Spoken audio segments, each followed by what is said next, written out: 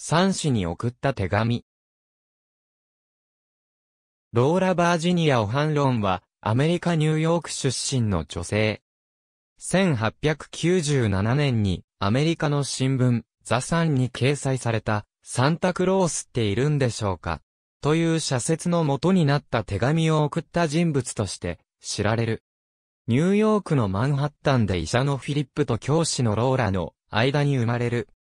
8歳の時、学校でサンタクロースはいる、いないということで友達と口論になった。家に帰って父親に尋ねると、父親は三新聞に問い合わせてご覧と進めたため、彼女はサンタクロースっているんでしょうかという旨の質問を座さんに送った。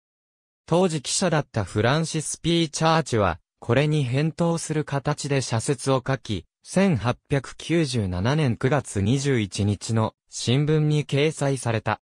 その中のイエス、バージニア、ゼアイズ、エーサンタクロースという一節は世界的に有名になった。1910年のエドワード・ダグラスとの結婚は娘が生まれる前にダグラスがバージニアを捨てて去り、あっけなく終わった。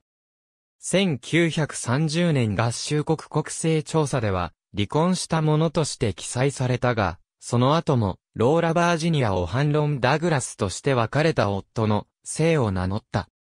バージニアは1910年にハンターカレッジから文学士、1912年にコロンビア大学から教育学修士を得た後、フォーダム大学から博士号を取得した。バージニアはニューヨーク市の学校教員となった。1912年に教職に就き、1935年に副校長となり、1959年に退職した。バージニアは生涯を通じて手紙についての問い合わせを常に受けた。彼女はその返事に新聞記事の写しを含めていた。後年のインタビューで手紙と新聞記事が人生の方向を極めてはっきり決めたと認めている。2012年12月、ニューヨーク州、オールバニーのラジオ局ホニャ FM は、バージニアが亡くなる2年前の1969年のクリスマスイブに最後に、サンタと会っている未公開の写真を入手した。バージニアは1971年5月13日に、ニューヨーク州バレーシーの療養所で81歳で亡くなった。ニューヨーク州、チャータムの墓地に埋葬されている。